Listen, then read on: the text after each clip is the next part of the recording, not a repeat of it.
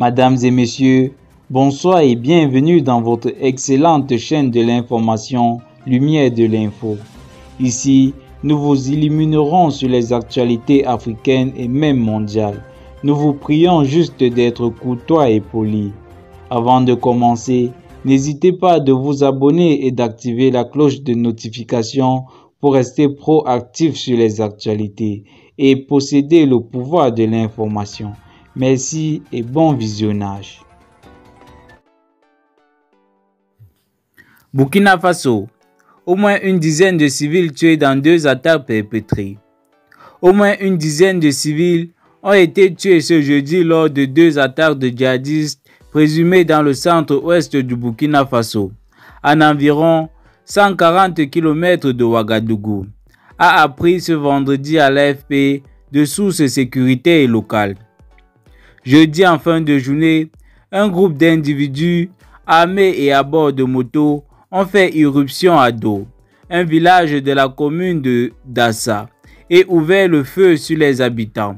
Six d'entre eux sont morts sur le coup et deux autres ont été blessés, a indiqué à l'AFP un habitant qui désire rester dans l'anonymat. Au même moment, un autre troupe d'hommes armés a attaqué une autre localité de la commune, située à quelques kilomètres, faisant également six morts, a poursuivi le même habitant.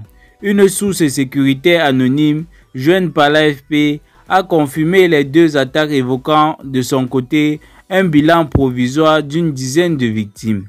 Des opérations de ratissage sont en cours pour amener la quiétude et rassurer les populations qui avaient commencé à quitter la zone, a indiqué la même source. Selon plusieurs habitants de la commune de Dossa, des incursions de membres de troupes djihadistes présumées sont fréquentes depuis quelques mois à la suite d'une vaste opération anti-djihadiste lancée par des forces de défense et de sécurité dans la province voisine de Nayala.